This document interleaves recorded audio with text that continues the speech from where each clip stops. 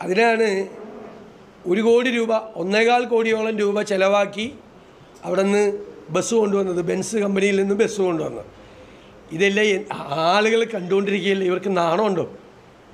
എന്നിട്ട് അപകടം ഉണ്ടായപ്പോൾ എല്ലാ ടൂറിസ്റ്റ് ബസ്സുകളും വെള്ള പെയിന്റ് അടിക്കണം എന്ന് പറയുകയും മുഖ്യമന്ത്രിയും മന്ത്രിമാരും യാത്ര ചെയ്യുന്ന വണ്ടിക്കുള്ള എല്ലാ ഇളവുകളും മോട്ടോർ വെഹിക്കിൾ ഡിപ്പാർട്ട്മെന്റ് നടത്തി കൊടുക്കുകയും ചെയ്തു. അല്ലാത്ത ബസ് പിടിച്ചെടുക്കുക. ഓരോ ജംഗ്ഷനിലും അല്ലാത്ത ബസ് പിടിച്ചെടുക്കുക.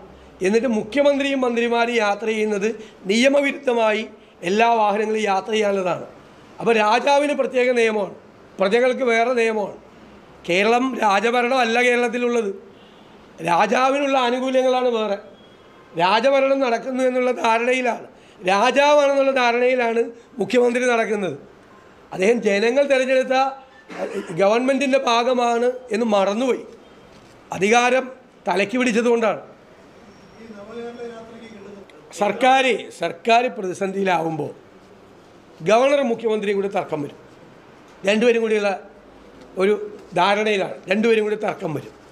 സർക്കാരിന്റെ പ്രതിസന്ധി മാറിയ അപ്പം മന്ത്രിമാർ ഉപഹാരങ്ങളുമായി രാജ്ഭവനിലേക്ക് ഘോഷയാത്ര നടത്തും. അപ്പോൾ രാജ്ഭവനിലെത്തുന്ന ഗവർണർ മുഖ്യമന്ത്രിയുടെ വീട്ടിലേക്ക് മധുരപലഹാരങ്ങൾ കൊടുത്തയക്കും. അപ്പോൾ രാജ്ഭവനിലെ കാര്യങ്ങളെല്ലാം അവർക്ക് വേണ്ട പണം മുഴുവൻ കൊടുക്കും അവിടുത്തെ അപ്പോയിൻമെന്റ്സ് മുഴുവൻ നടത്തി കൊടുക്കും.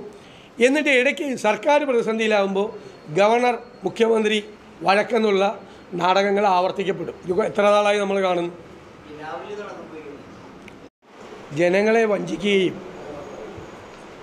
കബളിപ്പിക്കുകയും ചെയ്ത സർക്കാർ അത് മറച്ചു വയ്ക്കാൻ വേണ്ടി നടത്തുന്ന അശ്ലീല നാടകമാണ് നവകേരള സദസ്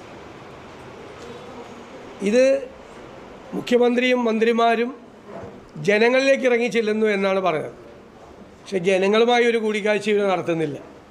പൗരപ്രമുഖരുമായി മാത്രം സംസാരിക്കുകയും ജനങ്ങളോട് ആകാശവാണിയാകുകയും ചെയ്യുന്ന കാഴ്ചയാണ് നവകേരള സദസ്സിലുള്ളത്. ഇവിടെ മെയ് മാസം രണ്ടാം തീയതി മുതൽ ജൂൺ നാലാം തീയതി വരെ താലൂക്ക് തലത്തിൽ അദാലത്തുകൾ മന്ത്രിമാർ പങ്കെടുത്ത അദാലത്തുകൾ നടന്നിരുന്നു. അതിൽ ഓൺലൈനിൽ പരാതി കൊടുക്കാം നേരിട്ട് പരാതി കൊടുക്കാം. പതിനായിരക്കണക്കിന് പരാതികളാണ് മന്ത്രിമാർക്ക് കിട്ടിയത്. താലൂക്ക് തലത്തിലുള്ള അദാലത്തുകൾ. പക്ഷേ ഒരു പരാതിക്കും ഒരു പരിഹാരമുള്ളതായിട്ട് ഇതുവരെ സർക്കാർ റിപ്പോർട്ട് ചെയ്തിട്ടില്ല ഒരു അർത്ഥത്തിലും.